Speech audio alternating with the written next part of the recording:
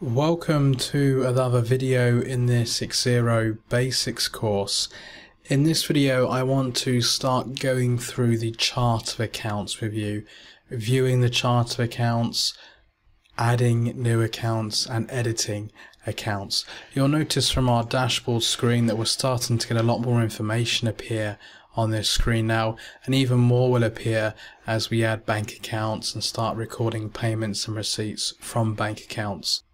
If you have started this course with this video, then I suggest you go back and watch the previous videos.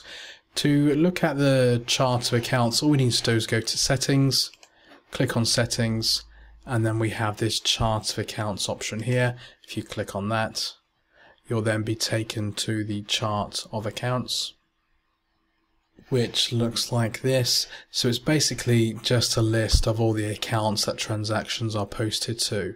If chart of accounts and assets and liabilities and all this accounting terminology is going over your head, then you may want to consider my exclusive bookkeeping course, which is on my website, freebookkeepingaccounting.com.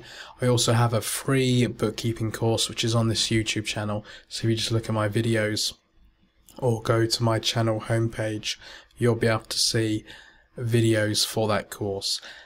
And just like most chart of accounts, we have um, some sort of organization to the account. So 2000 codes, you can see 2000 are all sales and income accounts. 3000 codes are cost of goods or cost of sales, direct wages, etc. Then 4,000 codes are overheads,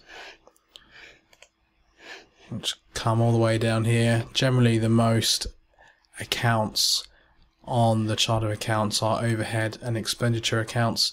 5,000 is a tax account, and I think from now on they're all fixed asset, current asset, fixed liability or long term liability, and current liability accounts. So 6,000, these are asset accounts. 7,000, they look like asset accounts too. 8,000 are liability accounts.